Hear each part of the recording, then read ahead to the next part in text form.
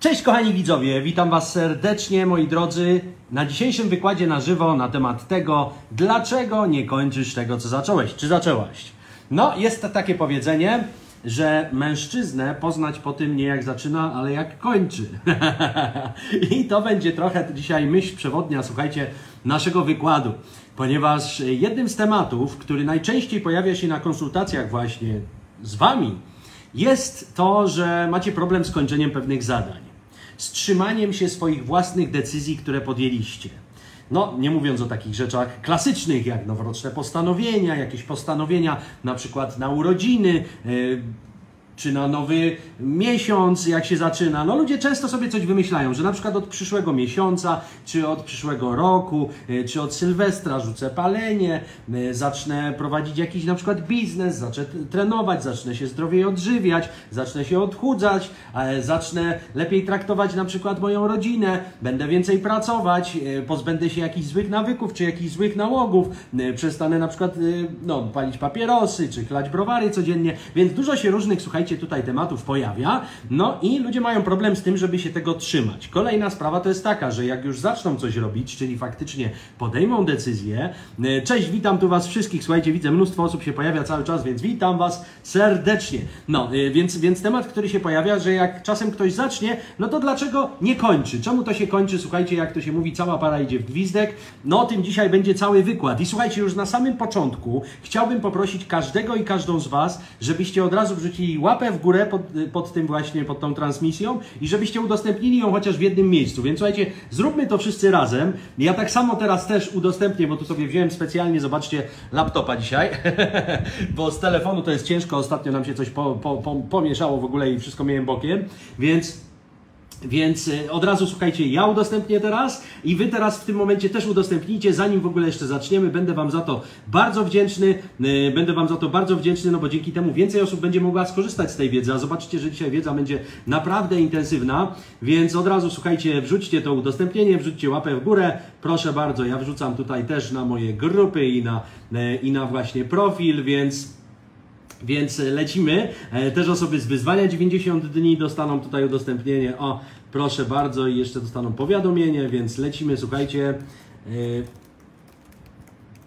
lecimy, proszę bardzo, jest dan. Więc mam nadzieję, że Wy też to zrobiliście, no to lecimy. Słuchajcie, pierwszy powód takiego e, no, pozdrawiam Ryszard, również e, tutaj e, operatora koparki, z tego co piszesz. Więc, więc zresztą wszystkich Was pozdrawiam. Słuchajcie, mimo tego, że nie pozdrawiam Was z gorącej Tajlandii, bo niestety Tajlandia przez ostatnich parę dni nie jest gorąca, zresztą zobaczcie z tyłu tutaj o no nie jest źle już, słuchajcie, dzisiaj jest pierwszy dzień taki, że jak widzicie jest w miarę, w miarę, ale tak było na przykład od rana, słuchajcie, to się zaczęło, myślałem w ogóle, że się coś ze słońcem stało, bo się obudziłem rano. I gdzie jest moje słoneczko tutaj o 5-6 rano, już jest piękny wschód słońca, a tu nic, słuchajcie, leje, deszcz, cały czas sztorm, burza, tsun no tsunami to nie, ale tajfun jakiś tam na Filipinach był, później przeszedł na, e, przez Wietnam i tutaj do Tajlandii. I u nas już takie no, ostatnie popierdółki doszły na szczęście, więc nie jakieś już hardkorowe y, takie e, wiatry, żeby zrywało dachy, no ale i tak było, słuchajcie, brzydacko, także, e, także yy, Trochę u nas też czasem, wyobraźcie sobie, że pada, mimo tego, że tu, gdzie mieszkam, to jest 300 dni słonecznych w roku, no to trafiłem właśnie na ostatnich kilka teraz tych, które słoneczne nie są. No, ale słuchajcie, zostawmy pogodę inne sprawy, widzę, że jest sporo osób, więc lecimy, słuchajcie, bezpośrednio z materiałem. Moi drodzy, pierwsza rzecz to jest to, dlaczego nie kończysz? Ponieważ zabierasz się za zbyt wiele rzeczy naraz. Słuchajcie, problem z wyborem odpowiedniego jakiegoś swojego działania to jest znowu bardzo często jakby problem tutaj pośredni, który się pojawia u wielu osób znowu, które do mnie przychodzą. Czyli mają na przykład tyle różnych pomysłów na biznes, że żadnego tak naprawdę z żadnym nie startują. I tutaj ja Wam bardzo często powtarzam, że sam pomysł, słuchaj, pomysł na biznes, czy na Twoją karierę, czy na to, co zrobić z Twoim życiem, bez egzekucji, czyli bez wprowadzenia tego pomysłu w praktykę, nie jest absolutnie nic warty. Nic warty. I to mówię do wszystkich osób, którym się wydaje czasem, że o kurczę, ja wymyśliłem taki dobry pomysł na biznes, że to na pewno musi siąść. I on teraz myśli, dobra, to teraz znajdę inwestora, co więcej, znajdę przedsiębiorcę inwestora. Czyli znajdę kogoś, komu ja ten mój pomysł sprzedam, nie? On wyłoży pieniądze, on ten mój pomysł zrealizuje, będzie pracował nad nimi cały czas i się dzielimy pieniędzmi pół na pół. Słuchajcie, mam często takie propozycje od ludzi, którzy no, po prostu nie mają absolutnie żadnego pojęcia o biznesie, o tym, jak w ogóle to wszystko funkcjonuje. W ogóle nie, nie, nie wiedzą, nie mają pojęcia, nie, nie, nie rozumieją tego, że ten pomysł jest nic nie wart. Więc popatrz, jeśli ty masz w głowie mnóstwo pomysłów, i już ci się wydaje, że ty jesteś taki mądry czy mądra, e, taki, że, że, już w ogóle te pomysły tak naprawdę same w sobie, że one istnieją, to już zaspokajają w ogóle twoją ambicję to niestety, no moi drodzy, tak to nie będzie działać. Niestety tak to nie będzie działać, te same Twoje pomysły nic są nie warte, absolutnie Twoja ambicja nie powinna być uśpiona poprzez posiadanie dużej ilości pomysłów, bo trzeba chociaż zacząć realizować jeden z nich. No, ale już jak ludzie, słuchajcie, czasem zaczynają działać, to niestety ładują sobie głow na głowę po prostu zbyt dużą ilość obowiązków. Zbyt dużą ilość obowiązków. I po pierwsze, Twój umysł nie jest w stanie tych wszystkich rzeczy naraz ogarnąć. Ja Was uczę, słuchajcie, w wyzwaniu, wyzwaniu 90 dni. Uczę Was, w jaki sposób planować swój czas, łącząc pewne działania w bloki. Cześć Krzyśku, cześć tutaj, witam Was wszystkich moi drodzy, nie? E, Małgosiu, Małgosia pisze słomiany zapał, podpalenie się do tematu biznesu. Tak, tak, o tym też dzisiaj będziemy mówić, nie? Natomiast popatrzcie się, e, jeśli chodzi o tą zbyt dużą ilość rzeczy, to nasz umysł nie jest w stanie ogarnąć tylu rzeczy, więc jeśli ja uczę Was wyzwaniu 90 dni zarządzania czasem, to uczę Was tego, jak grupować pewne czynności razem jak grupować pewne czynności, czyli nie robić sobie na przykład w ciągu dnia 40 różnych zadań na liście, bo tego nikt nie jest w stanie ogarnąć. Tylko wybrać sobie kilka bloków, na przykład trzy bloki, nie? Tu będę na przykład doskonałym przedsiębiorcą, tu będę doskonałym mężem, a tu będę doskonałym ojcem. Nie? I mam trzy zadania na cały dzień, żeby być wtedy doskonałym przedsiębiorcą, mężem i ojcem. Czyli co się będzie w to wchodzić? No później mogę sobie już tam wpisać w każdy blok jakieś zadania, Czyli na przykład, żeby być doskonałym mężem, no to mogę przygotować randkę dla mojej żony, yy, mogę coś zrobić dla niej, wysłać jej SMS-a na przykład jakiegoś miłego. Słuchajcie, takie małe rzeczy, drobne czasem naprawdę dużo znaczą w związku, więc mogę wysłać mojej żonie na przykład y, SMS-a, że ją kocham, że o niej myślę, że za nią tęsknię, jak ona dziś pojechała na zakupy, nie? Żeby być na przykład dobrym ojcem, to co mogę zrobić dzisiaj? Mogę na przykład y, z moim synkiem obejrzeć jakiś y, w kinie przy, przyrodniczy film, nie? Ostatnio oglądamy właśnie taki Blue Planet, się nazywa z BBC, e, tam komentuje David Attenborough, e, czyli no dokładnie, to są te role właśnie Dawid, nie? E, czyli, czyli mogę to zrobić, mogę z moim synkiem się pobawić na przykład, mogę z nim popływać w basenie. Dzisiaj to nie bardzo, bo jest zimna woda prze, przez, ten, przez ten deszcz, nie? Więc, więc tego robić nie będę. No ale, ale jakieś jeszcze, mogę sobie inne rzeczy tam jak zawrzeć. Natomiast chodzi o to, że wtedy ja mam jeden blok, kiedy staram się być najlepszym ojcem i wiem po co to robię, nie? Mam znalezione dlaczego to robię. I tak samo popatrzcie w życiu, nie? Jeśli my nałożymy na siebie na przykład w danym momencie 20 różnych obowiązków i chcemy jakieś aktywności, tu chcesz chodzić na siłownię, zdrowo się odżywiać, wcześniej rano wstawać, e, chcesz e, jeden biznes zacząć, drugi, trzeci, czwarty, piąty, nie? Oprócz tego jeszcze na lekcję tańca, na lekcję angielskiego, niemieckiego, hiszpańskiego, bo po co się uczyć jednego języka? Od razu trzy naraz, nie? Co tam będzie? Więc trzy języki. I dołożysz sobie po prostu, wiesz, 50 różnych aktywności, na których się musisz skupiać, to będziesz mieć problem z tym, żeby faktycznie cokolwiek zrobić dobrze. Będziesz mieć problem z tym, żeby faktycznie się skupić na jakiejś aktywności, bo jest ich po prostu zbyt dużo. Czyli po pierwsze, braknie ci technicznie czasu nie? i energii. No to są pewne rzeczy, które mamy jakieś zasoby. Nie? Mamy 24 godziny czasu dziennie, no i nie jesteśmy w stanie zrobić w tym czasie y, jakichś działań, które wymagają 40 godzin. Po drugie, braknie ci energii. No też jesteśmy, słuchajcie, każdego dnia nasze ciało i nasz umysł ma pewien potencjał, który możemy wykorzystać. Ja Wam to często mówię przy tym, żeby się nie wkurzać, nie denerwować, nie narzekać, nie stresować się niepotrzebnymi rzeczami, nie generować negatywnych scenariuszy, bo te wszystkie rzeczy, które teraz wymieniłem, po prostu drenują Waszą energię życiową nie jakąś magiczną energię, uhuhuhu, nie, bo nie mówimy tutaj jakiś science fiction, tylko po prostu normalnie, no masz jakąś energię, którą możesz wykorzystać, no nie jesteś w stanie dziennie, chyba że jesteś już jakimś sportowcem zawodowym, w ogóle terminatorem, no ale nie jesteś w stanie na przykład biegać 20 godzin dziennie, bo się zmęczysz po prostu i ci braknie tej energii. Organizm też potrzebuje regeneracji. No i to samo dotyczy, słuchajcie, czy naszego organizmu, że, że jak chciałbyś po prostu od rana wstawać o 5 rano i do 22 codziennie zapieprzać, mieć dzień wypełniony po prostu stuprocentową aktywnością, nie? czy to fizyczną, czy psychiczną, bo tak samo nasz mózg. No mózg, mózg też nie jest w stanie, wiesz, intensywnie, kreatywnie, efektywnie myśleć od rana do wieczora. Więc po prostu ci braknie tych zasobów. Ale dodatkowo to jest właśnie to, co mówię. Czyli braknie ci po prostu tego skupienia. Braknie ci skupienia. Większość ludzi jest w danym momencie w stanie skupić się na trzech rzeczach naraz. Większość ludzi jest w stanie skupić się na trzech rzeczach naraz, czyli nasza pamięć krótkoterminowa jest w stanie maksymalnie trzy rzeczy ogarnąć. Trzy rzeczy ogarnąć. Jeśli dołożysz tam czwartą, piątą, szóstą, to już zaczyna ci się mieszać, nie?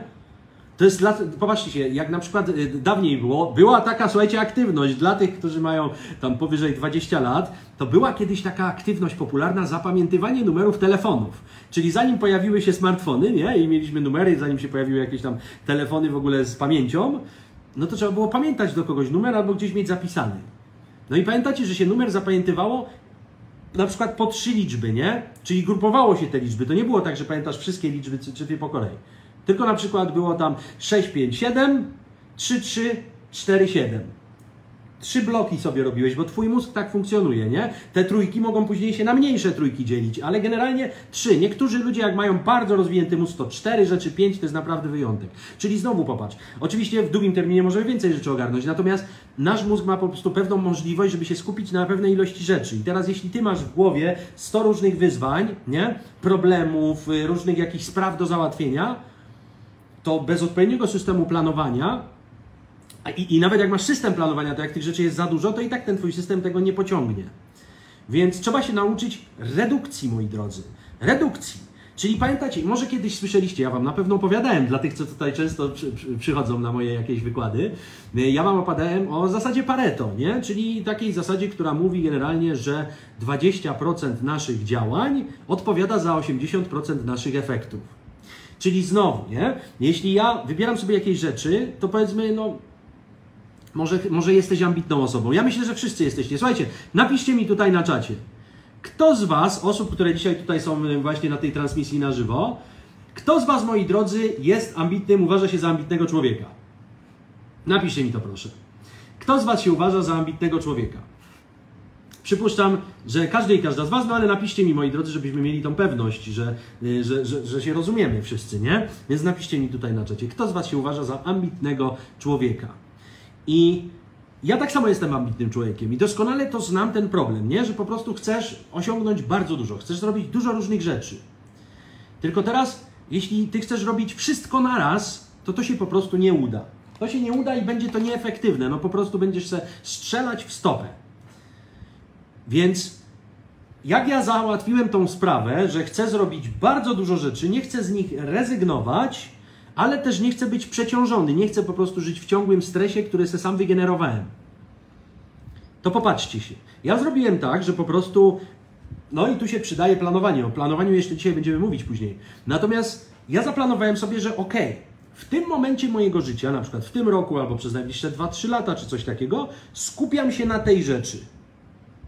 Skupiam się na tej rzeczy jednej, drugiej, trzeciej na przykład. Nie? Wybieram sobie jakieś trzy główne takie rzeczy, które chcę osiągnąć, które chcę ogarnąć, a pozostałe rzeczy odkładam sobie na później, świadomie. Nie, nie tak, że mi się nie chce, nie tak, że, że a kurczę, y, jest to, jest to, Przemysław pisze, naraz to jest wielki ambaras, tak jest. Y, nie, nie tak, że po prostu chcę to, wiesz, y, zrzucić z siebie, tylko odkładam sobie świadomie na później, żeby wykorzystać maksymalnie moją efektywność. I tak było na przykład, popatrzcie się, w 2017 roku, no 16, w 16 roku na początku podjąłem decyzję, że będę robić Ironmana 73.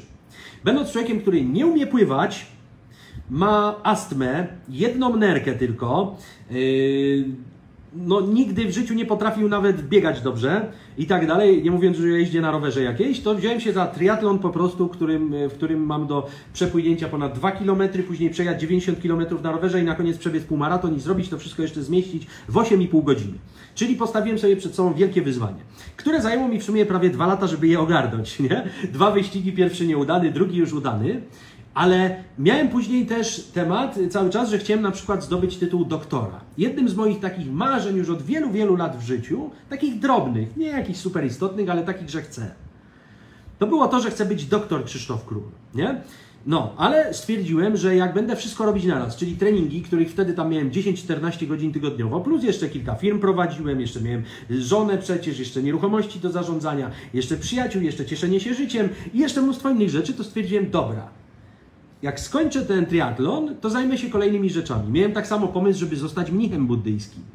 Ale też stwierdziłem, nie, teraz są treningi i teraz się na tym skupiam, nie? To plus tam miałem biznes, jeszcze jakieś tam miałem sprawy.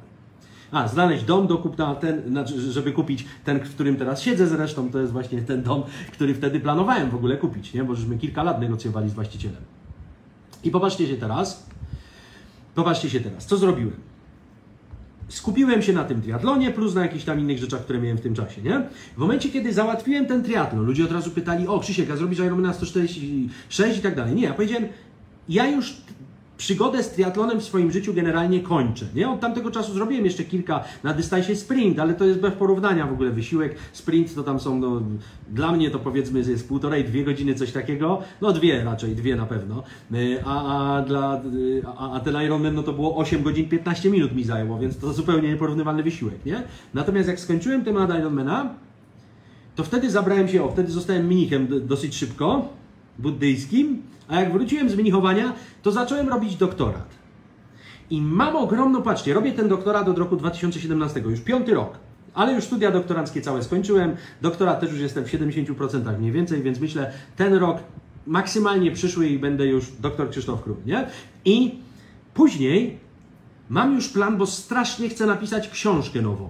Nie pisałem od bardzo, bardzo dawna żadnej nowej książki, a wydałem ich, napisałem w sumie, wydałem w wydawnictwie Helion Sensus dziewięć książek, nie? W swoim życiu.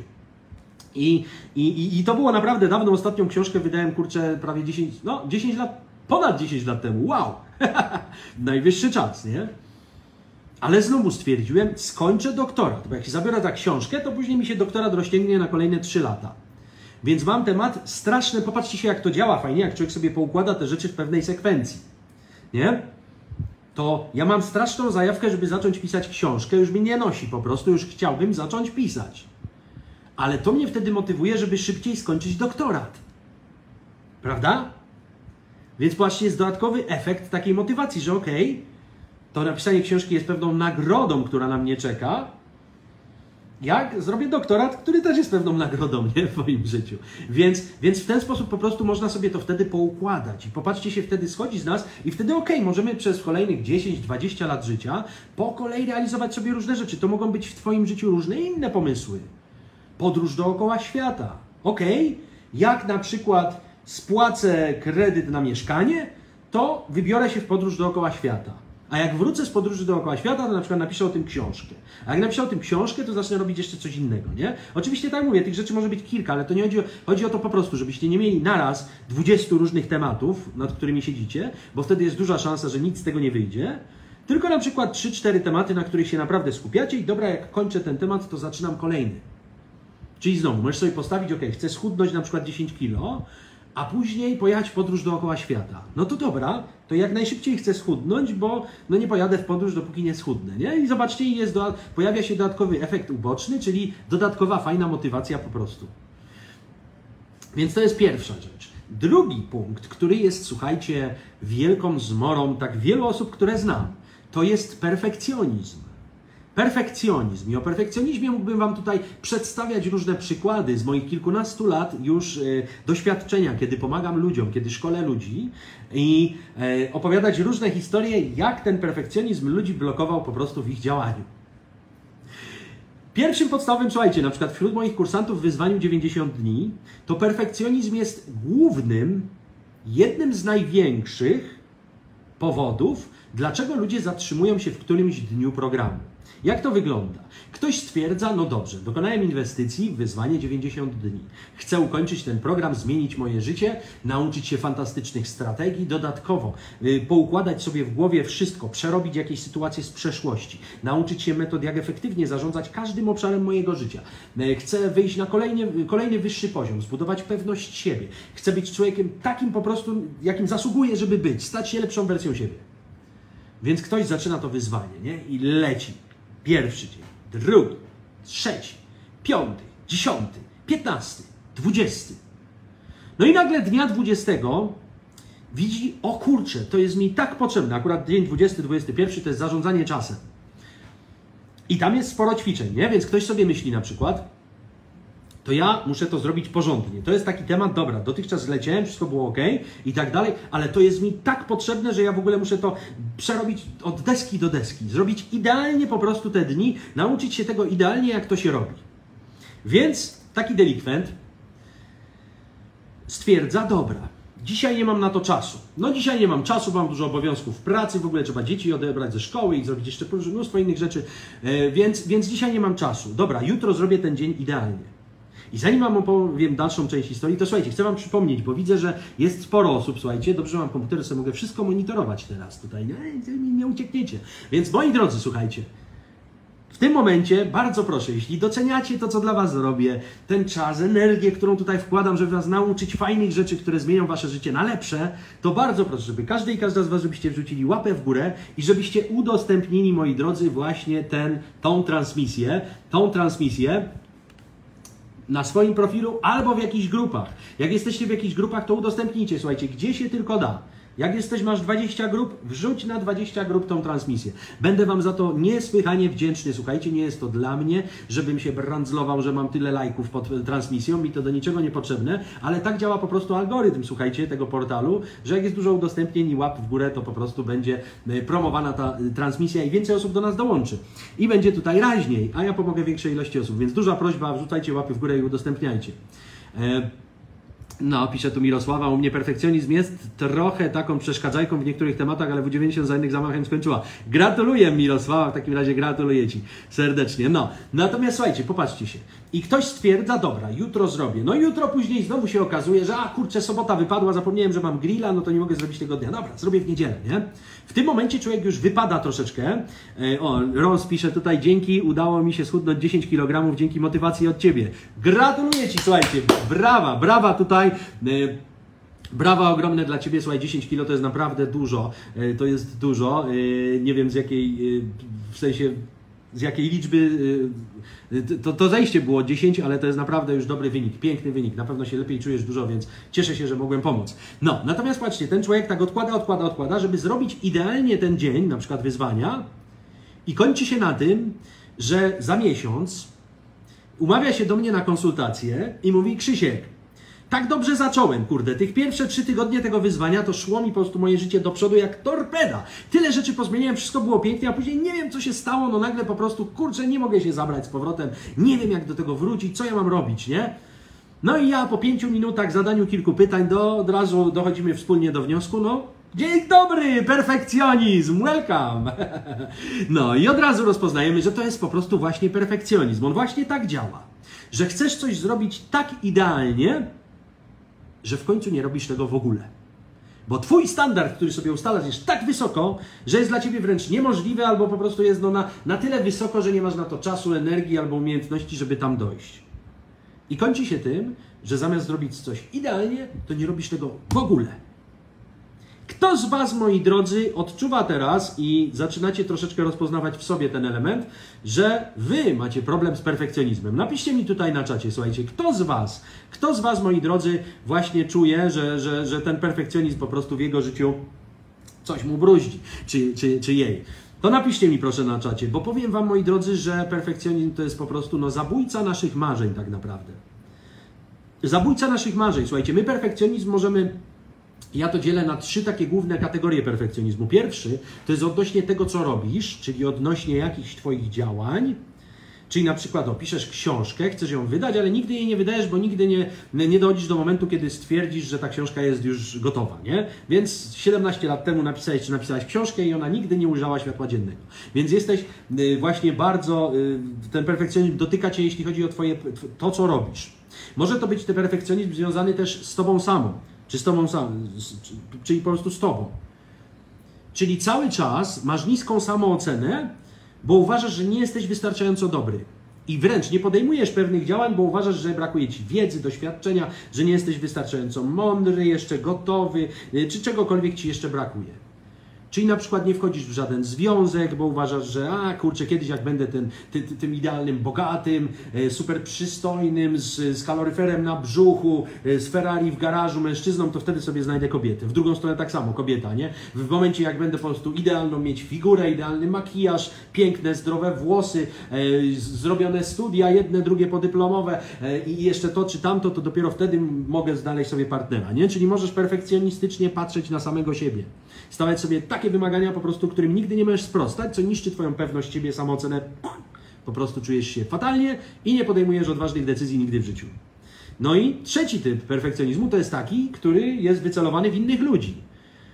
Czyli na przykład, no nie możesz za cholerę znaleźć sobie przyjaciela, dziewczyny, chłopaka, męża, żony, e, partnera biznesowego, e, czy nawet kolegi, bo patrzysz na wszystkich i za każdym razem, kiedy ktoś popełni jakiś mały błąd, to od razu skreślasz człowieka. Wszyscy mają być idealni, po prostu masz takie wymagania wobec innych, których, którym nikt nie jest w stanie sprostać. No jest takie trzy typy perfekcjonizmu. No ale w naszym tutaj przypadku dzisiaj to mówimy o tym właśnie. E, mówimy o tym, skąd to się bierze, bo tam pyta, łe, łe, łe, łe, Beata pytała, skąd to się bierze, bo strasznie ciężko się z tym walczy w dorosłym życiu. Słuchaj, nie ciężko się z tym walczy. Ja mam dobre sposoby, jak sobie poradzić ze, z perfekcjonizmem. Więc wcale nie jest ciężko. Wcale nie jest ciężko. Tylko trzeba zacząć, nie? Trzeba mieć po pierwsze świadomość tego, że, że, że mam problem ze z perfekcjonizmem. No i wtedy to jest punkt wyjścia do tego, żeby znaleźć jakieś strategie i sobie z tym poradzić.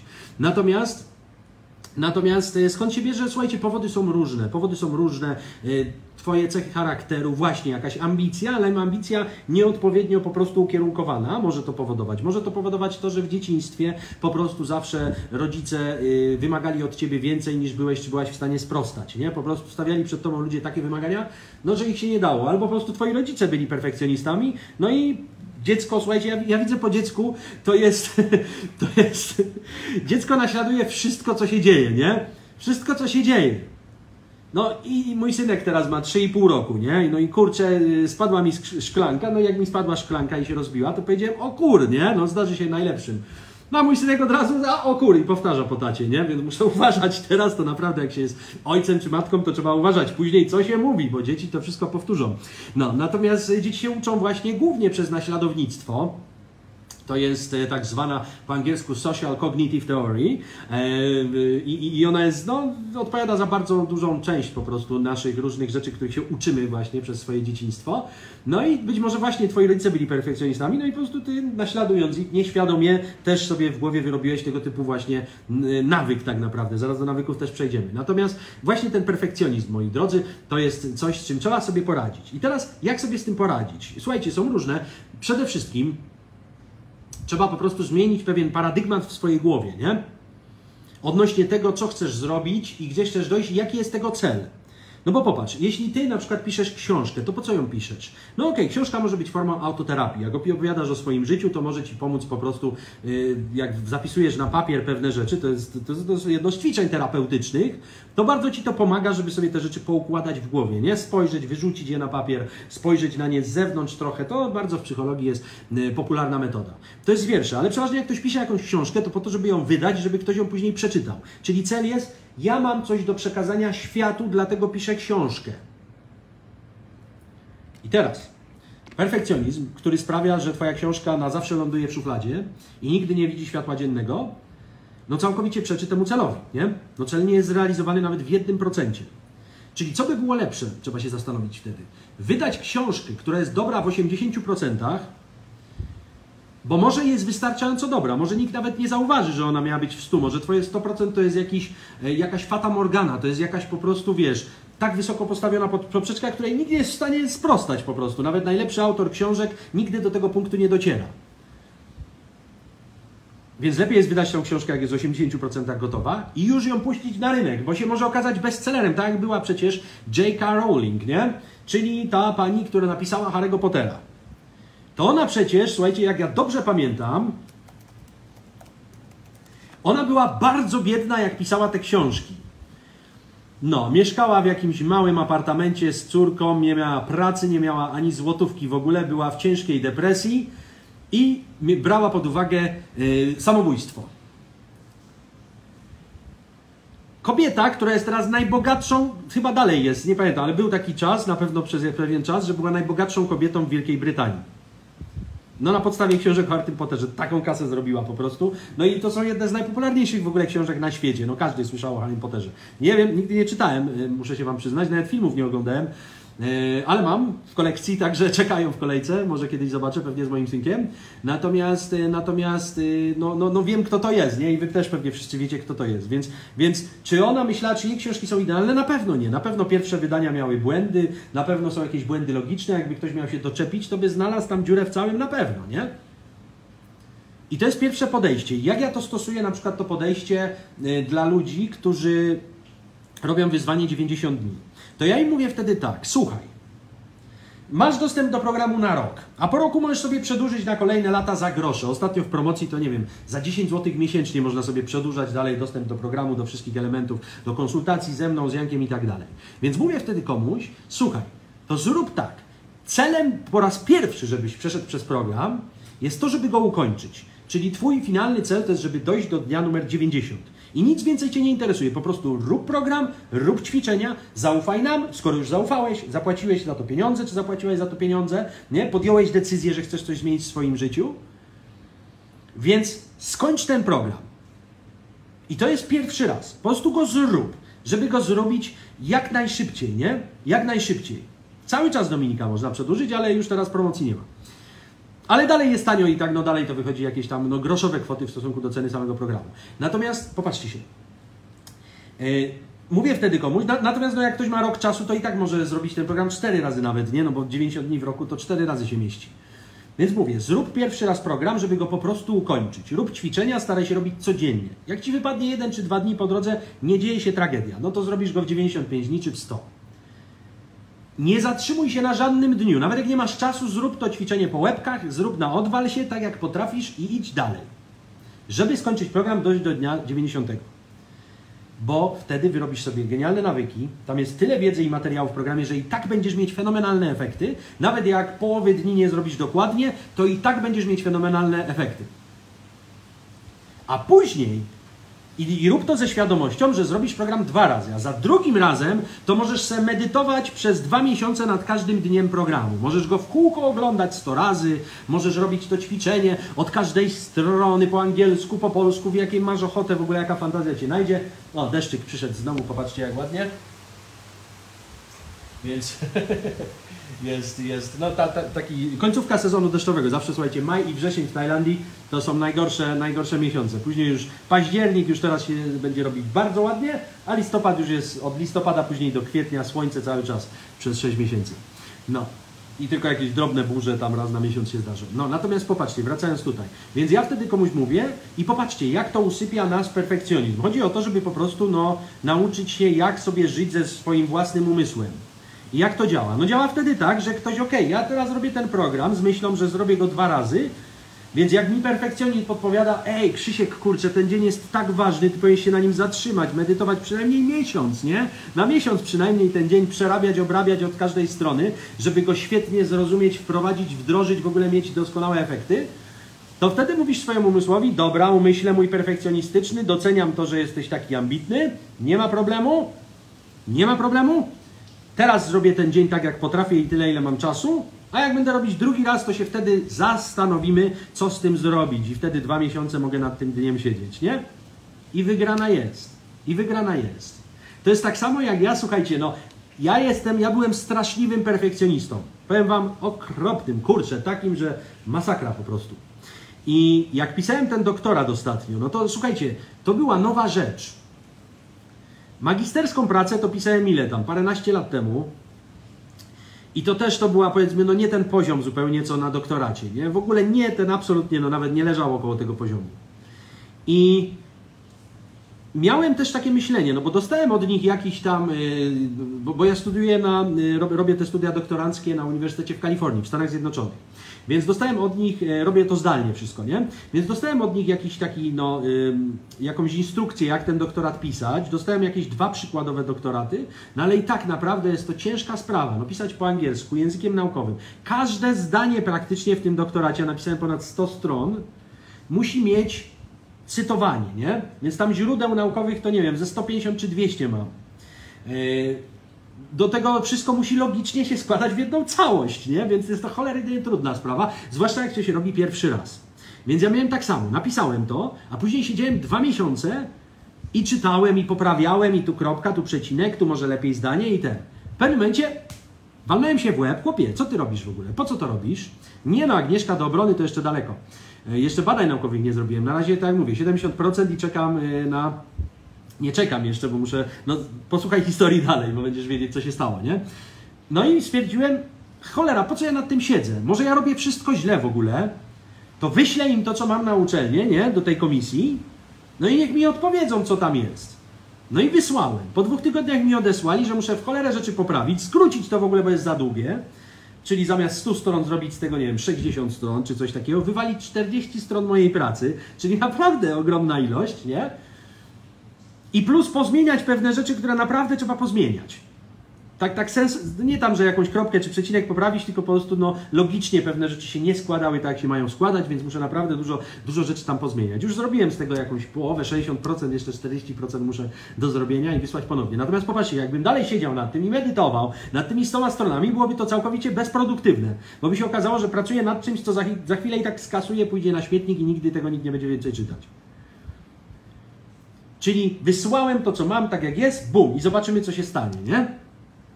I powiem Wam bardzo często na przykład, bardzo często w moim życiu właśnie wystarczyło to, nie? Czasem się okazywało, że to, co już mam, jest wystarczająco dobre.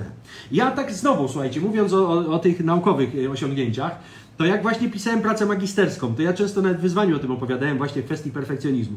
Słuchajcie, napisanie pracy magisterskiej zajęło mi dwa lata. Tylko dzięki temu, że miałem bardzo, bardzo wyrozumiałego pana, e, pana e, dziekana, E, czyli właśnie pa Paweł Lula się nazywał, pozdrawiam, jeśli kiedyś będzie oglądać. Tutaj fantastyczny człowiek, naprawdę.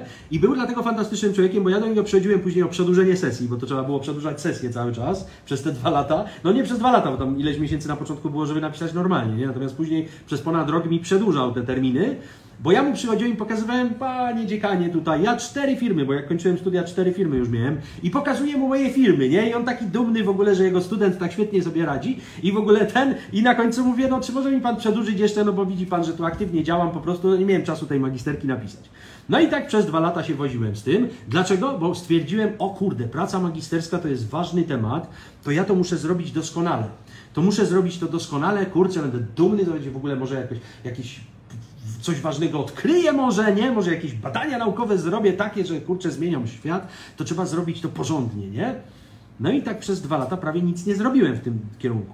Słuchajcie, przyszedł pewien dzień, kiedy pan dziekan już mi powiedział, no niestety, już panu nie mogę dać przedłużenia po prostu, bo się te terminy skończyły, no już więcej no, z regulaminem studiów nie mogę, po prostu przykro mi, więc musi pan skończyć tą pracę. Ja sobie myślę, kurde, jeszcze ledwo nie zacząłem prawie, nie?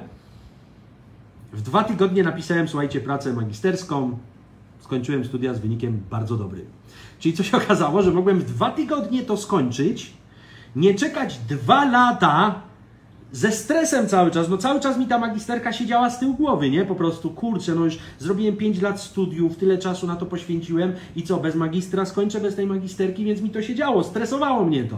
No sprawiało, że kurczę, znajomi gdzieś jadą na weekend, a ja mówiłem, no słuchajcie, nie pojadę z wami, bo planuję magisterkę pisać. Później się okazywało, że i tak nie pisałem, bo stwierdzałem, o, dobra, coś innego ważniejszego zrobię, nie? I tak się to kończyło.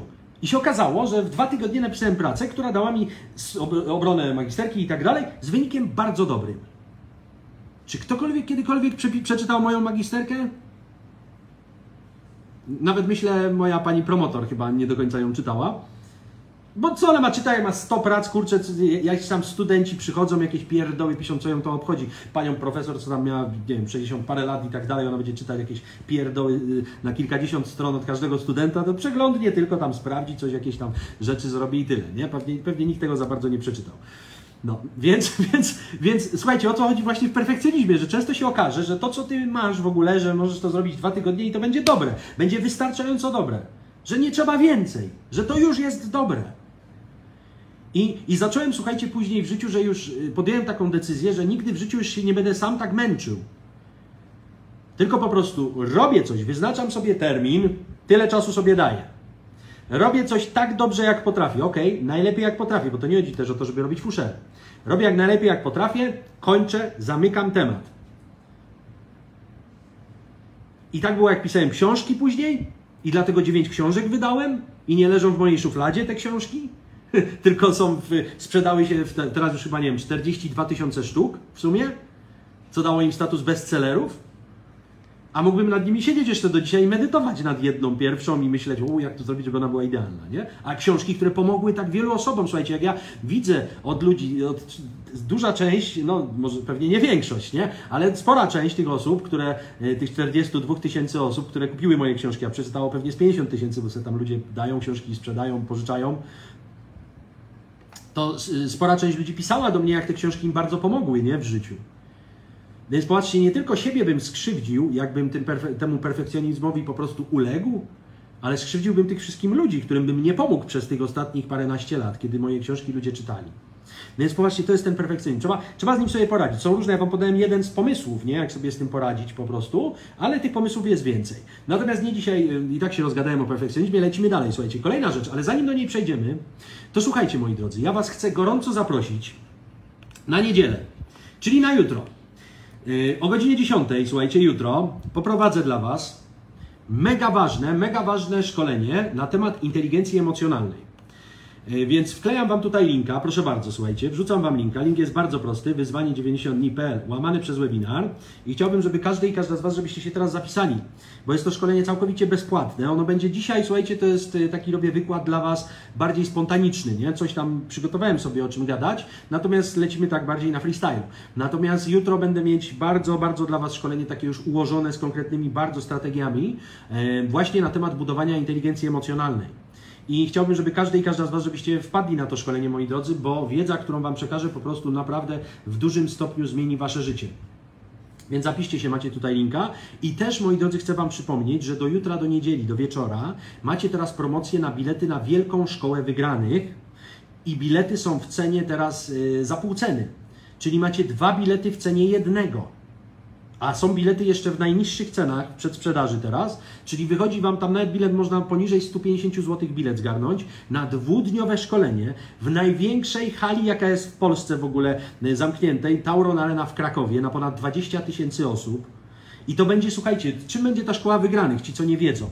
To będzie, moi drodzy, połączenie konferencji, na której będziecie mieć przedsiębiorców, będziecie mieć e, psychologów i tak dalej, ludzi, którzy będą Was inspirować, dzielić się z Wami swoim doświadczeniem, bardzo bogaci ludzie, ludzie, którzy osiągnęli ogromny sukces, więc będzie to po części konferencja, będzie to szkolenie ze mną i z Jankiem, czyli klasyczna szkoła wygranych, którą dla Was robimy, na której zobaczycie po prostu, że to, co przeżyjecie, będzie to niesamowita przygoda po prostu przez wasze całe życie, przeszłość, przyszłość, jak sobie to wyobrazić, jak poukładać sobie rzeczy pewne w przeszłości, jak pozbyć się pewnych złych myśli i tak dalej. Przeżycie tego na żywo wśród tysięcy osób to jest, słuchajcie, coś nieprawdopodobnego. Czyli równocześnie macie też nasze szkolenie i dodatkowo do tego jeszcze jest impreza przez cały czas. Przez cały czas jest, słuchajcie, impreza, na której parę tysięcy osób będzie się bawić jak nigdy w życiu, bez kropli alkoholu. No czegoś takiego nie widzieliście jeszcze. Ci, co nie byli w 2020 roku, kiedy robiliśmy ostatnią szkołę wygranych w Taurona w Krakowie, no to, y, to ci, co nie byli, no to pewnie nigdy w życiu nie zobaczyliście i jak teraz Was to wydarzenie ominie, to pewnie nigdy nie zobaczycie czegoś takiego. A jest to naprawdę niesamowita rzecz. No i macie teraz bilety za, za cenę kolacji w dobrej restauracji, a w restauracji to się najesz i pójdziesz do domu i tyle. I może Cię brzuch będzie bolał, jak było niedobre jedzenie, a jak było dobre, no to, to, to będziesz szczęśliwy, że coś zjadłeś, a tu masz dwa dni pełne szkolenia, i są, słuchajcie, bilety w najlepszych sektorach. Przy samej płycie są jeszcze, bo patrzyłem dzisiaj. I Damian pisze, ja byłem, potwierdzam. No wejdźcie sobie na stronę, dałem Wam linka szkoławygranych.pl. Tam macie taką zakładkę opinie. Tam jest 200 opinii ludzi, którzy byli ostatnio, nie? Ja, Paweł, też czekam na to od, od 11 stycznia 2020. No, przez te całe srandemie nie mogliśmy zrobić dla Was szkoły wygranych, takie jaką chcieliśmy. A teraz planujemy, żeby było 10 tysięcy osób. Dwa dni już mamy zarezerwowaną salę, już, już nie ma wyjścia, więc będą dwa dni na 100%. Słuchajcie, i będzie konferencja, impreza i szkolenie. Trzy rzeczy po prostu przez dwa dni cały czas będziecie mieć taką dawkę inspiracji, motywacji. Gwarantuję Wam, że po tym wydarzeniu będziecie przez parę tygodni albo parę miesięcy po prostu tak latać w, swoim życiu będziecie mieć taką energię, inspirację, motywację do działania. Dominika pyta, kiedy to będzie? 8-9 września 2023. Natomiast bierzcie teraz bilety, bo to jest ogromna sala. I jak tu naprawdę ma znaczenie, czy siedzisz blisko z przodu, czy siedzisz z tyłu. To są odległości różnice setek metrów. Więc, więc, więc y, to nie wiem ile ma cały Tauron, chyba 200 czy 300 metrów, 200 chyba metrów długości, czy coś takiego. Jest ogromna hala, naprawdę jak stadion, nie?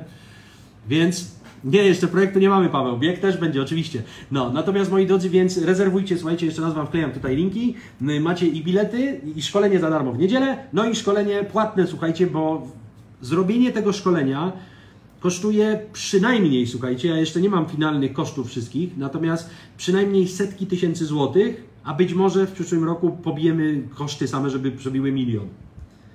Zobaczymy, jak grubo fantazja nas podniesie po prostu, żeby dla Was przygotować takie atrakcje i takich rzeczy, których jeszcze nie widzieliście.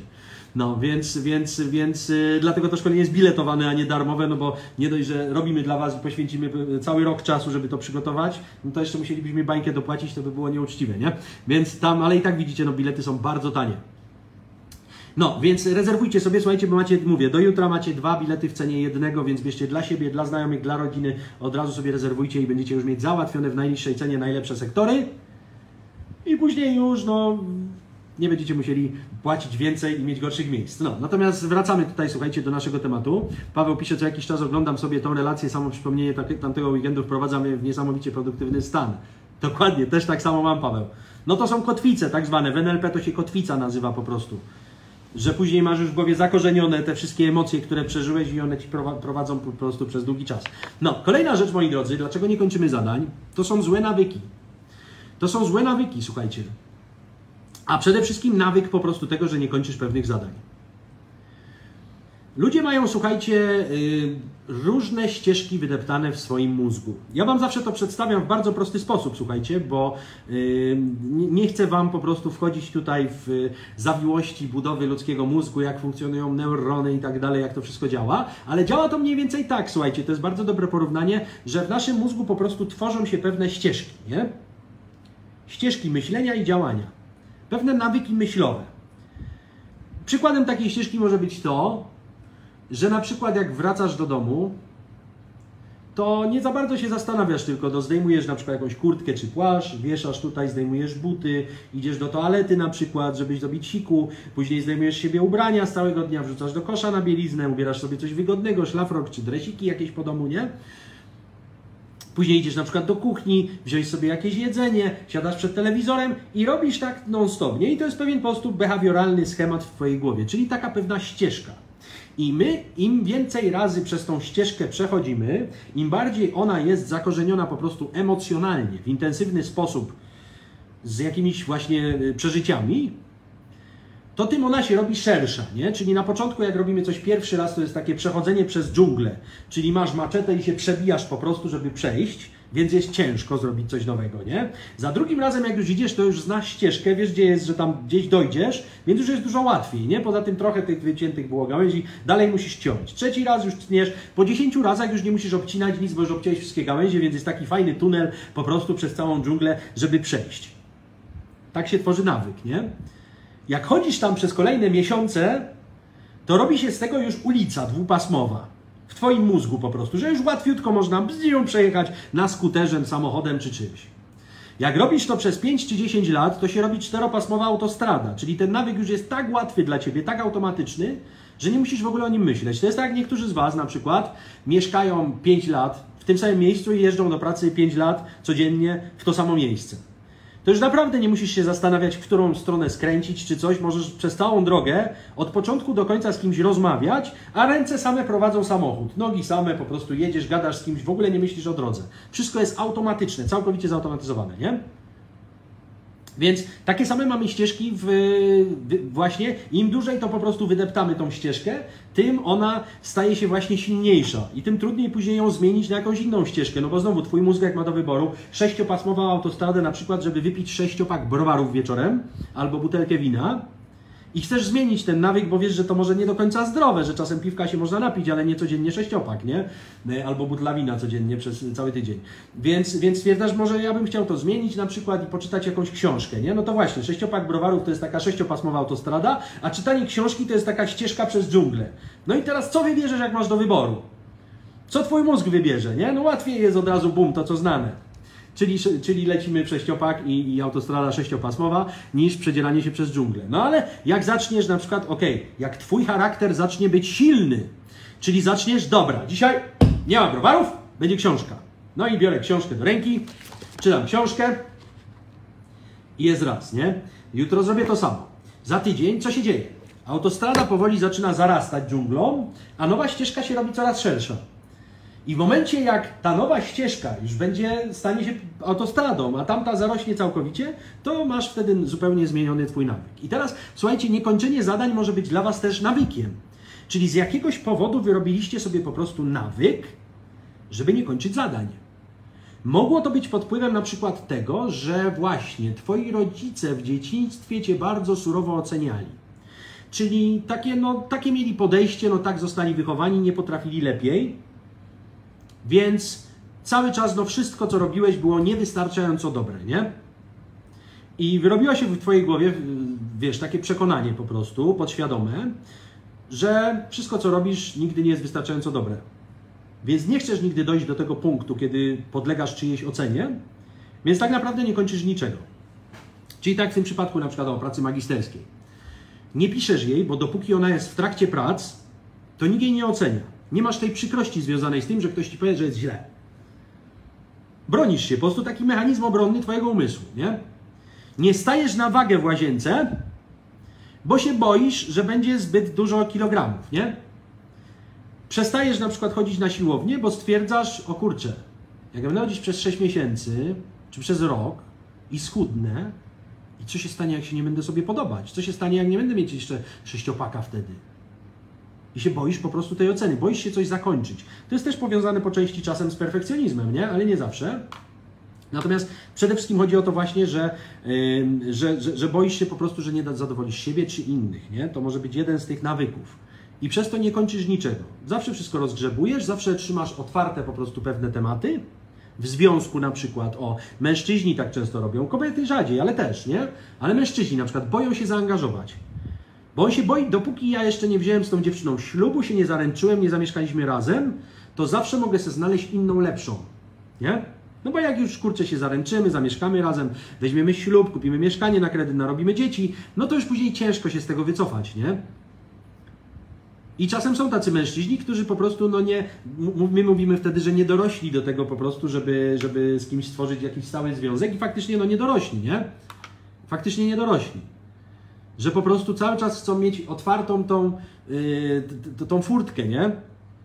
A przez to tracą bardzo wiele w życiu, bo na przykład nie doznają nigdy tego uczucia, jak to jest mieć swoją własną rodzinę, jak to jest z kimś wejść faktycznie w związek taki, w którym no, yy, chcesz zostać do końca życia, prawda?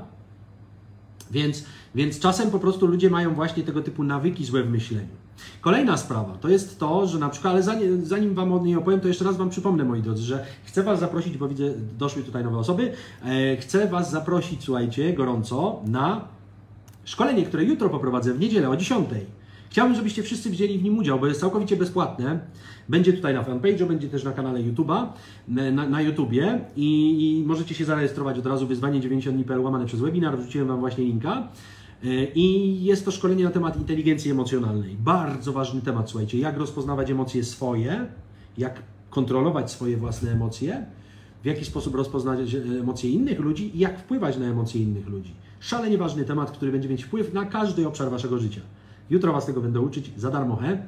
I też przypominam, macie bilety na Wielką Szkołę Wygranych, moi drodzy. Najlepsze bilety w najlepszych sektorach za pół ceny. Tylko do jutra, do niedzieli wieczorem. Także rezerwujcie, kto jeszcze tego nie zrobił. A, my lecimy dalej. Słuchajcie, kolejna rzecz to są przeszkody, które się różne pojawiają. I popatrzcie, przeszkody teraz mogą mieć różny wymiar. To może być przeszkoda taka, że ktoś na przykład ciebie, no rzuca ci jakąś kłodę pod nogi. I, i, i ty sobie z tym nie radzisz. No powiedzmy, że zaczynasz, no jakiś przykład, no prowadzisz na przykład biznes, nie? I w pewnym momencie ktoś cię na przykład podpieprza do skarbowy, jakiś sąsiad, który zobaczył, że masz lepszy samochód i ci się coś udaje, podpieprza cię do skarbowy, no i zaczyna się kontrola i w ogóle i ty w tym momencie tracisz jakąkolwiek motywację do tego biznesu, nie? Bo się pojawiła przeszkoda jakaś. Może się okazać, że nawet masz coś tam w księgowości było nie tak, trzeba zapłacić karę 4000, e, jakiś tam mandat, nie? E, I tak dalej. E, no, no, no, i ty wtedy się wycofujesz, stwierdzasz, rzucasz w cholerę ten biznes i się wycofujesz. Może to być też przeszkoda, którą sam sobie po prostu stawiasz. Ale no, czy świadomie, czy nieświadomie, chcący, czy niechcący. Czyli na przykład taka przeszkoda. Stwierdzasz, będę zdrowo żyć. Dzięki temu schudnę, będę mieć lepsze zdrowie, więcej energii. No same plusy. Więc stwierdzasz, biorę się za zdrowy tryb życia. No i dwa tygodnie, tak, miesiąc, dwa miesiące, udaje Ci się to osiągnąć. Twoja waga leci w dół. Czujesz się coraz lepiej, sypiasz coraz lepiej, masz coraz więcej energii. Twoja cera się poprawia, no wszystko leci elegancko, po prostu lepiej. Masz lepsze myślenie, nie? Ale po tych dwóch miesiącach na przykład, no kurczę, znajomi Cię zapraszają na imprezę na przykład. Wychodzisz na tą imprezę, na której no stwierdzasz na przykład, Jakub mówi, fajna blacha na ścianie, rano przywalić o 5 rano, moment wszyscy wstaną. Challenge accepted. to przywalmy blachę. Jest taki specjalny, słuchajcie, do niej. Nie wiem, z czego to jest nawet zrobione, ale widzicie, taki, taki po prostu ten. No i w blach jak się przywali, mam nadzieję, że tutaj telefon wytrzyma mikrofon z tym, jest tak.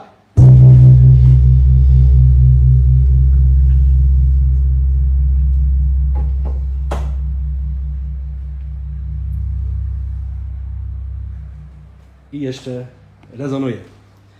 Jak się przywali, to aż sufity podwieszane bzyczą. Jest taki bas dobry. Proszę bardzo, specjalnie dla... Specjalnie Kuba dla Ciebie. Jest blacha. no, natomiast popatrzcie się, drugi temat właśnie taki, nie? Znajomi Cię zapraszają na imprezę, no i na tej imprezie, kurczę, wiesz, yy, wypijasz sobie tam piwko, czy jakiegoś tam yy, jakiegoś tam y, tego, y, no, prosecco, szampana, winka czy coś takiego, później już czujesz się, kurczę, trochę fajniej, to zaczynasz jeździć, wcinasz tam wszystkie chipsy, sałatki, w ogóle jakieś hamburgery, różne inne rzeczy, grill jakiś jest, więc wciskasz z tego grilla, stajesz na drugi dzień na wadze plus 3 kg. A i myślisz sobie, a cholerę to wszystko w ogóle, kurczę, dwa miesiące, ninja, mój labrador, Chyba ninja coś ma opóźniony zapłon. Gong już był dawno. Czekajcie, też Wam pokażę. Jest tutaj oczywiście. Tylko nie wiem, czy ją zobaczycie, bo tu ciemno trochę. Tu jest piesek. Tu jest piesek. jest ninja sobie tam siedzi. No. Natomiast yy, i rzucasz wszystkim w cholerę po prostu. O, jak się, kurczę, ninja. Co mnie tak wołasz? Masz, dostaniesz tutaj jakiegoś tego smakołyka i nie przeszkadzaj. Poczekajcie chwilkę. Masz. Nie szczekaj. No. Yy, I, I rzucasz wszystkim w cholerę po prostu stwierdzasz, że jest wszystko bez sensu, nie?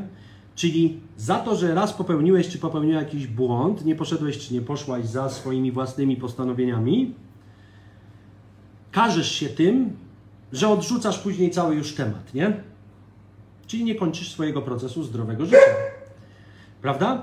Bardzo często ludzie tak robią, że właśnie postanowią sobie coś i w momencie jak raz takie jest określenie nieładne, ale ja je lubię akurat, pęknie im dupa. E, czyli po prostu, no, e, raz ich po prostu charakter no, nie wytrzyma presji czy czegoś i, i, i ulegną, nie? Ulegną po prostu swojej pokusie i później całkowicie już się wy, skreślają, nie? Skreślają się całkowicie, skreślają cały temat i przestają coś robić. Także to może być właśnie kolejne, kolejna przeszkoda, którą sobie sami po prostu sami sobie zapewnimy i i znowu, jak sobie z tym poradzić? Słuchajcie, bardzo prosto, to jest akurat banalnie proste. Wystarczy ustalić sobie warunki, którym jesteś w stanie sprostać. Bo jeśli ty sobie postawisz warunki, że od dzisiaj to ja się w ogóle zachowuję jak mnich w klasztorze Shaolin, Jadam po prostu o 7 rano jeden posiłek składający się z 30 gramów węglowodanów, 70 gramów białka i, i tego, tego, tego. Yy, drugi posiłek o 11 i później cały dzień nic nie jem i tak do końca życia mam wytrzymać, tylko o samej wodzie żyję wieczorem. No jak sobie później postawisz tego typu warunki, to temu nikt nie jest w stanie sprostać w normalnym życiu, nie? Jesteśmy tylko i aż ludźmi. Więc trzeba sobie wtedy postawić. Ja, ja sam z tym miałem właśnie problem, słuchajcie. Dawniej, że też właśnie stawiałem sobie odchudzanie, odchudzanie, odchudzanie, a później efekt jojo taki przychodził, że masakra. Aż w pewnym momencie stwierdziłem, że trzeba zachować jakiś balans. Czyli nie po prostu po, postawić sobie na przykład zdrowy styl życia, ale taki zdrowy w 80%. Czyli 80% moich posiłków i tak dalej, moich dni będzie zdrowo przeżytych, ale zostawiam 20%.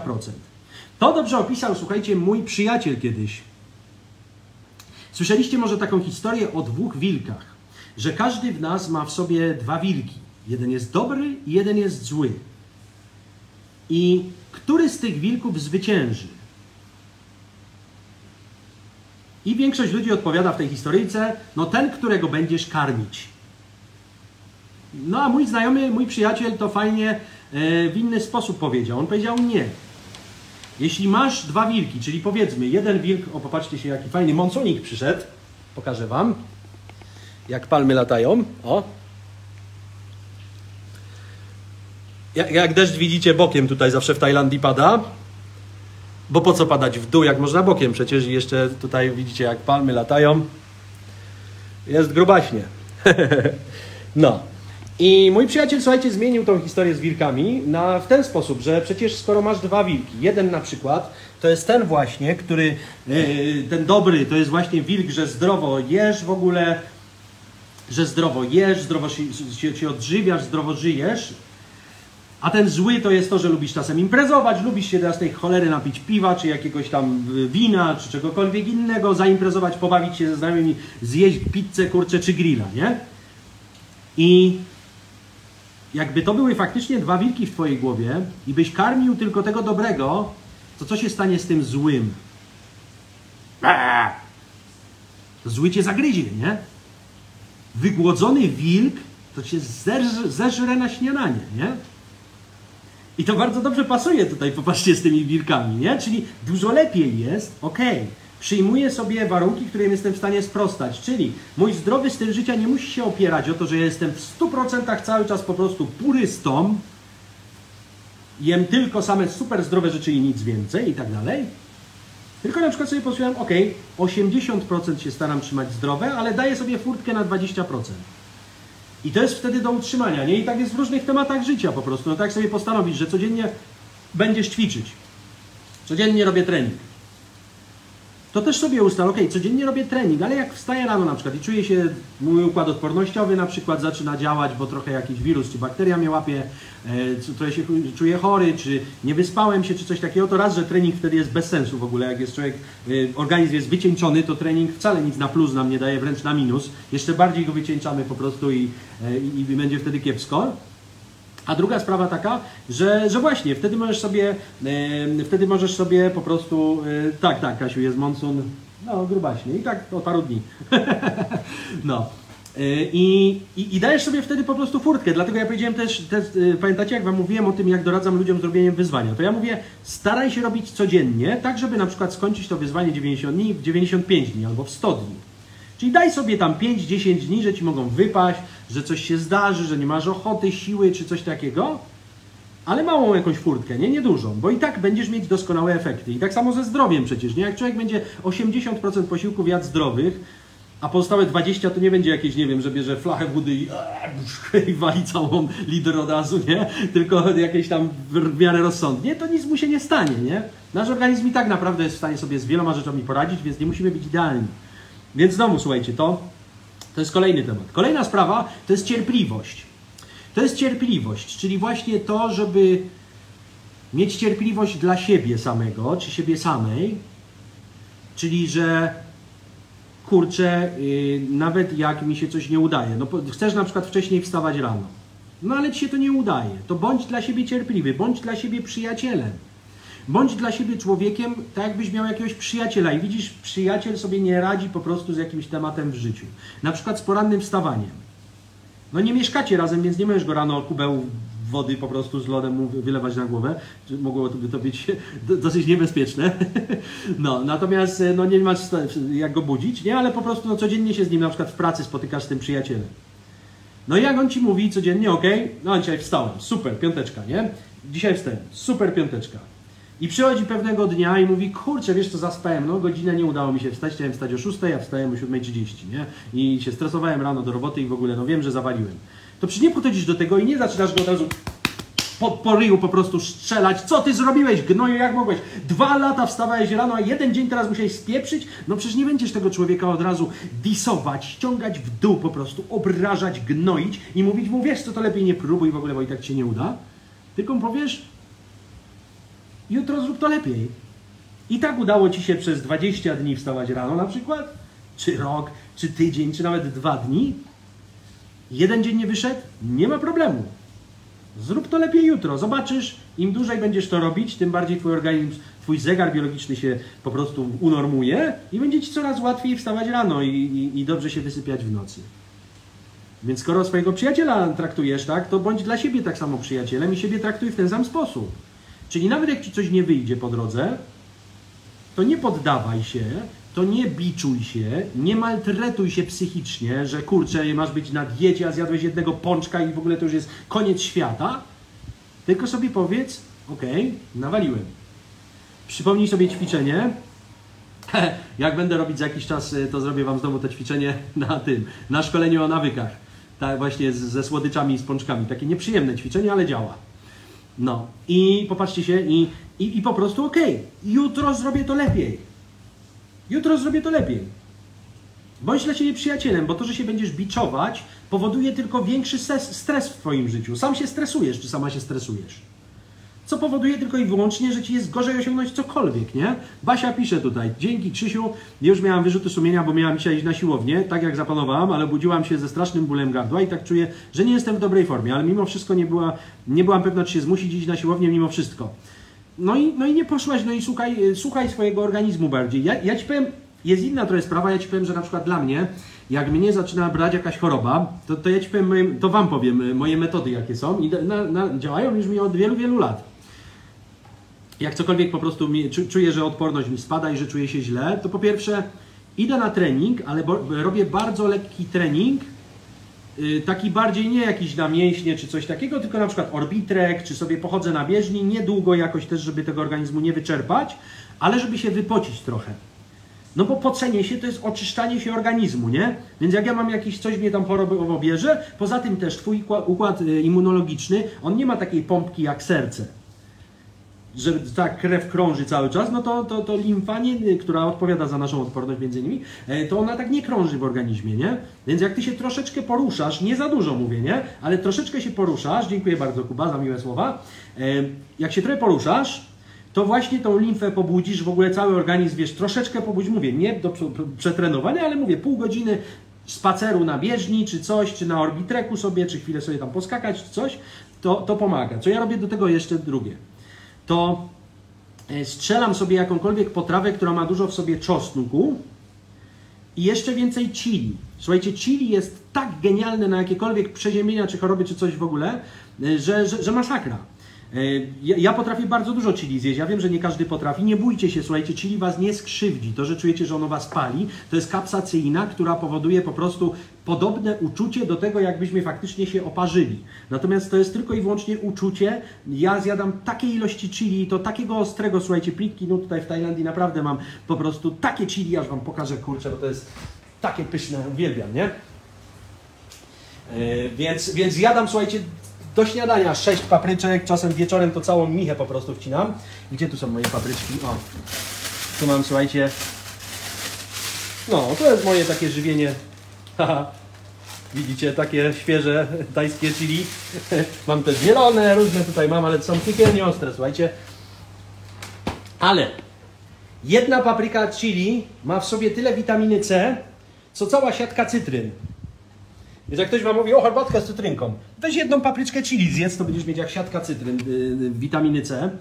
Poza tym oczyszcza, słuchajcie, zatoki, cały w ogóle wszystko, jak wiesz, jak płoniesz, to od razu, jak, jak tylko mam katar i zjem chili, to katar jest out. Jest przepędzony po prostu, boi się chili. Więc polecam Wam. Dla mnie to po prostu naprawdę czosnek, coś, coś gorącego też, rosołek też jest dobry, wieczorem na przykład lubię. Kiedyś też miałem metodę, już tego nie stosowałem wiele lat, ale w Polsce jak mieszkałem i dużo chorowałem bardzo w zimie, to robiłem sobie jeszcze grzańca.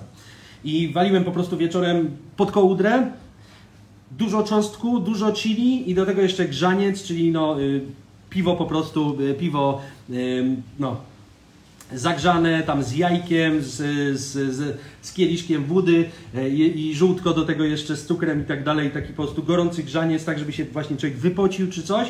Pociłem się po prostu jak, jak nie wiem co, i później szedłem pod prysznic, wstawałem czułem się na drugi dzień jak nowonarodzony. Więc ja takie metody naturalne stosuję. E, Michał pisze, ja dla zdrowia biorę już od 4 lat zimne prysznice codziennie. Jak czuję, że bierze mnie choroba, to biorę tego dnia trzy zimne prysznice, żeby uruchomić układ odpornościowy i na drugi dzień choroba zawsze przechodzi. No Michał, nie jestem przekonany, czy to... Znaczy może u Ciebie działa, ale u mnie jakbym wziął zimny prysznic, jak jestem chory, to bym był już całkowicie chory. U mnie ja też robię zimne prysznice i kąpiele z lodem, ale robię to jak jestem tylko zdrowy. Jak jestem chory, nie robię tego. Daniel pisze, od półtora roku zacząłem publikować na Amazon KDP, ten biznes uczy cierpliwości, od pół roku są efekty sprzedaży i cały czas sobie właśnie tłumaczę, jutro zrobię lepiej i never give up. No i bardzo dobrze Daniel. Gra gratuluję Ci właśnie. Więc super, czekajcie jeszcze jakieś komentarze, tu pominąłem Dorotea, nie chce mi się, ale muszę, mam chory kręgosłup i jak się nie rozruszam, to boli mnie wszystko. No to się rozruszuj. Y, Monsun, no, cały czas taki jest, tu cały czas widzę wszystkie palmy bokiem.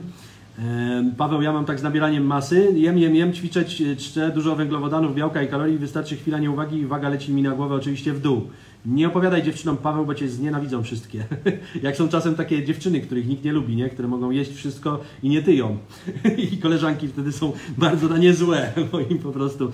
E, Sławomir, kawkę pijesz czy yerbę, Chris? Nie, yerba jakoś dla mnie nie, nie podchodzi mi w ogóle wygląd i zapach i forma picia tego jakichś fusów przez rurkę, e, więc mi to nie, nie mój typ, ale kawkę rano sobie wypiję przed treningiem. E, No, cytryna, miodek, imbir, dokładnie Mirosława. Natomiast mówię, najlepiej teraz co stosuję to jest po prostu czosnek, chili, czosnek, chili, jakiś rosołek po prostu na wieczór i na drugi dzień jestem zdrowy, nie? No, ale wracając, słuchajcie, bo to nie o zdrowiu. Dzisiaj szkolenie. Ile my już w ogóle tutaj się, ile ja się produkuję, słuchajcie, czasu? Bo, bo się rozgadałem jak zwykle, strasznie, ale widzę, że, że jesteście cały czas, więc Wam się chyba podoba. E, A, kolejny, słuchajcie, temat. E, Kolejny temat to jest to, że nie karmisz swoich marzeń. Więc słuchajcie, czasem po prostu e, powodem tego, że my się wycofujemy i nie kończymy czegoś, jest spadek naszej motywacji. I na to się znowu może składać wiele czynników, no jakieś przeszkody po drodze, y, Twoje rozkojarzenie właśnie, bo inne rzeczy się pojawią w Twoim życiu, pojawi się w Twoim życiu na przykład jakiś, e, jakiś duży problem, który po prostu całą Twoją uwagę odbiera, no i wtedy już ta motywacja przegrywa po prostu, zbyt niski poziom jest, prawda? I popatrzcie, y, jeśli ty nie karmisz cały czas swoich marzeń pewną inspiracją, to one będą naturalnie po prostu troszeczkę y, się za, troszeczkę zanikać nie? w Twojej głowie. I teraz Kacper pyta na przykład, jak karmić marzenia. Powiem Ci, jak ja to robiłem. Słuchaj, jak y, jeszcze byłem na dorobku i marzyłem sobie o tym, żeby właśnie taką willę mieć, w takiej willi mieszkać, y, żeby mieć taki styl życia, y, żeby zapewnić sobie wolność finansową, to co robiłem? Bardzo mnie na przykład y, motywowało to, że oglądałem sobie różne jakieś programy. Teraz jest tego wtedy nie było aż tak dużo, ale teraz jest bardzo dużo, słuchajcie, na YouTubie. Na, YouTubie jest bardzo dużo różnych fajnych programów. Na przykład po angielsku jest taki program, polecam Wam, Producer Michael. Wprawdzie tam to już są astronomiczne po prostu z Kalifornii na przykład domy, natomiast ja właśnie oglądałem tego typu rzeczy, jeszcze producera Michaela wtedy nie było, natomiast, yy, natomiast yy, oglądałem sobie różne jakieś właśnie inspirujące na przykład wille czy coś takiego, albo ludzi, którzy mają już styl życia taki, jaki ja chcę mieć. I to mnie niesamowicie inspirowało po prostu. No nie mam w sobie tego takiego hejtu i zawiści i żółci, że jak widzę, że komuś się udało coś osiągnąć, co ja bym chciał, to będę mu tam hejtować, dorąbić mu, e, ty pewnie, dobra, masz fajny dom, ale pewnie żona cię tam na boku z kolegami robi. Więc ja nie mam takiego myślenia, nie? Więc y, oglądałem po prostu te rzeczy, żeby się inspirować. Jak na przykład samochód, y, chciałem mieć jakiś tam wymarzony, no to można pojechać, umówić się na jazdę próbną na przykład w salonie, nie? A jak za pół roku zapomnisz jak było, to mów się po raz drugi na jazdę próbną. jak masz, słuchajcie, można się tak samo, y, można się umówić w ogóle z agentami na przykład nieruchomości. No powiedzmy, że dzisiaj masz 5000 zł na koncie, jeszcze nie masz nic w ogóle, żeby kupić sobie wymarzone na przykład mieszkanie, ale przecież nic pieniędzy nie kosztuje, żeby skontaktować się z agentem i to nie jednym, tylko jednym, drugim, trzecim, czwartym, piątym, powiedzieć, o proszę pana, tak, mnie interesują mieszkania w kwocie 500 tysięcy do miliona. Nie wiem, w Polsce to za dużo się teraz nie kupi za takie kwoty, bo że widziałem, cen- ceny podrożały straszliwie nieruchomości. Ale dobra, 500 tysięcy do miliona mnie interesuje. Mieszkanie na przykład takie, żeby było no, y, 80 metrów kwadratowych, z balkonem, z ładnym widokiem na zachodnią stronę, żeby był zachód słońca. Takich, takich, takich okolicach, nie? I każdy agent nieruchomości, on nie będzie Cię pytał, o, proszę mi pokazać konto. Czy Pan ma, czy Pani ma pieniądze? Bo jak nie, nie będę marnować swojego czasu. Żaden agent coś takiego cię nie zapyta, nie? Więc możesz z nim pojechać, oglądać te nieruchomości i samo to, że już tam wejdziesz do tego mieszkania, to już będzie taki pokarm dla twojej motywacji, że wiesz, nie tylko na zdjęciu, na filmie gdzieś zobaczysz, tylko że wejdziesz do swojego wymarzonego mieszkania, na które cię jeszcze absolutnie nie stać. Ale posiedzisz w nim chociaż te 20 minut z agentem. A jak Ci się spodoba, to możesz jeszcze później raz przyjechać. A czy mogę jeszcze raz zobaczyć to mieszkanie, nie? I możesz się umówić z pięcioma agentami i zobaczyć takich mieszkań 50, które Ci odpowiadają. To naprawdę motywuje. Ja tak robiłem. Nawet jak jeszcze nie miałem pieniędzy, żeby kupić na przykład wymarzoną willę, to umawiałem się z agentami i mi pokazywali, nie? I dobrze, że szukałem tak, bo nabyłem też doświadczenia przy okazji. Jak już będziesz mieć pieniądze, to już będziesz mieć ogląd rynku, już będziesz wiedzieć, co, czego potrzebujesz, co chcesz. Drugim krokiem może być to, że możesz wynająć na przykład sobie wymarzone mieszkanie na jakiś czas. Słuchajcie, jest taki portal Airbnb, słyszeliście pewnie o nim, a jest te, te, też podobnych mnóstwo innych, nie? Gdzie można sobie na krótki termin coś wynająć. Więc co za problem, żeby zrobić sobie na przykład prezent i na weekend z dziewczyną, z mężem, z żoną, z dzieciakami czy z kimś wymarzone mieszkanie sobie wynająć na tydzień. E, wy, wymarzone mieszkanie sobie wynająć na tydzień albo na weekend nawet, nie? I pomieszkać w tym mieszkaniu być tam, kąpać się w nim, spać w nim w łóżku, na balkonie rano przy wschodzie słońca siedzieć, to naprawdę dużo daje, nie? Więc to są jedne ze sposobów. Oczywiście jest więcej sposobów różnych, jak to można robić. Wizualizacje, których macie w wyzwaniu 90 dni bardzo dużo. Bardzo dużo macie właśnie technik wizualizacji, które służą do tego, żeby właśnie wasz umysł nakierować na te marzenia, wzmocnić ten obraz, nie? Wzmocnić tę motywację. Czekajcie, bo tu, a dobra, tutaj lepiej pisze. Yy, Beata pisze, nie można olewać takich klientów, nie wiadomo co będzie w przyszłości. Może taki klient kiedyś wróci i kupi pięć mieszkań? Oczywiście, że tak. Oczywiście, że tak. Słuchajcie, ja jak yy, tutaj po raz pierwszy oglądałem willę w Tajlandii, jeszcze mnie nie było stać na taką willę. I, yy, i słuchajcie, yy, w dodatku ja pytałem później tych agentów i pytam, a to byli z takich największych firm, Century 21, CBRE, e, Sofeb i, tak dalej, bardzo dużych po prostu, bardzo, z bardzo dużych firm międzynarodowych w ogóle zajmujących się nieruchomościami, nie? I ja ich później pytałem, ty, a ile wy sprzedajecie takich domów, powiedzmy tam na, na złotówki 5-6 milionów, nie? Czyli taki, co mnie interesował y, tam w takim budżecie. A oni mi w tej firmie jeden rocznie, dwa rocznie. Więc ja dla nich, jak przyjechałem taki gnój, nie? To, to, to, ludzie, którzy kupują tego typu nieruchomości, to mają po 60-70 lat. To już są często dziadki po prostu i tak dalej, na emeryturę ludzie, albo jacyś miliarderzy, milion, multimilionerzy, no nie, tam kupują sobie dom wakacyjny czy coś. Rzadko ktoś tu kupuje, żeby faktycznie mieszkać w nim, nie? A ja przy, przy taki gnój, o połowę młodszy jeszcze od tych wszystkich ludzi, nie? Tam mający 30 lat, nie? I chcę oglądać takie wille, więc ale widzicie, agenci, to co napisała Beata na przykład, traktowali mnie poważnie, co mi się podobało. Nie zdarzyło mi się ani raz, żeby ktoś nawet, któryś nawet powiedział, a ty wyglądasz na gnoja, to ja ci nie będę pokazywać nic, nie? Więc, więc, yy, więc oczywiście, że, że nie powinno się olewać. To, to, to jest właśnie, bo ktoś później, wiesz, jak już nawiążesz z kimś na przykład współpracę. Ja, ja mam zresztą nawet od tych, co nie kupiłem nigdy nic, od tych agentów, których poznałem wtedy, na początku, to ja już im podesłałem mnóstwo jakichś znajomych czy klientów, jak ktoś ktokolwiek się pytał, to ja mu polecałem już tego agenta, więc oni swoje tam zarobili na mnie. Przemysław, marzenia się spełniają, jak cel sobie obierzesz, dążysz do niego, to wszystko jest w Twoim zasięgu, dokładnie. E, e, Paweł, przypomniało mi się moje ulubione ćwiczenie, dotknąć marzenia, nakarmić motywację i dążyć do tych realizacji marzeń. Tak jest. Michał, zanim kupiłem pierwszą nieruchomość na wynajem, to zobaczyłem 80 nieruchomości. Niebawem kupuję trzecią. Gratuluję, Michał, super. Ja tak samo dokładnie robiłem. E, co, co agenci oczywiście mówię, no nie byli pewnie jacyś super szczęśliwi z tego powodu, bo najlepiej dla nich by było, żebym ja przyszedł w ogóle, powiedział, słuchaj, ja mam półtora miliona dolarów, gdzie tu jest jakaś willa, pokaż mi trzy, ja sobie wybiorę jedną i, i jutro ci prze, zrobię przelew, nie? To wiadomo, dla nich to by najłatw, najłatwiejsza kasa, no ale e, jak sprzedają jedną rocznie w takiej dużej firmie, nie, międzynarodowej, no to znaczy, że, że, że, że, że nie są aż tak wybredni, nie?